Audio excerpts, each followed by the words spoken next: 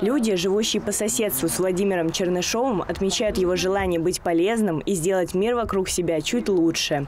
Стоит жителям выйти на улицу, а мужчина уже очистил овраг или подлатал мост через него. Насколько я знаю, всегда наводит порядок. Вот здесь территория вот эта вот всегда в порядке. Вот. Теперь взялся за овраги. Он очень хороший человек. Начал тут убирать сначала вот овраг, э, возле вокруг мусора, вокруг домов убирается, чтобы нам было комфортно, чтобы нам было чисто. По своей инициативе его никто не заставляет. Любовь к родному городу оценили и представители администрации округа. Муниципальный депутат Гаджимурат Гаджимурадов и Татьяна Полякова, начальник территориального отдела Видная Расторгуева, приехали, чтобы вручить Владимиру благодарственное письмо и подарок за его вклад в благоустройство территории.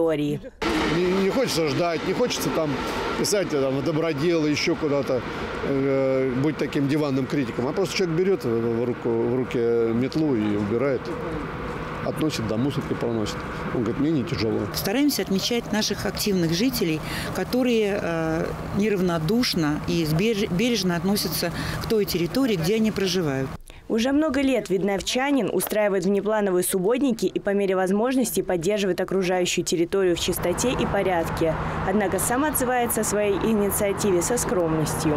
Если каждый, как сказал Антон Павлович Чехов, если каждый там, ну я не точно цитирую, если каждый на своем клочке земли сделает то, что он хотел бы видеть, о, как прекрасно была бы наша земля. Но посыл весь высказан. Именно такие неравнодушные жители должны становиться примером для других. Инга Янчук, Кирилл Иванов, Ольга Садовская, Видное ТВ.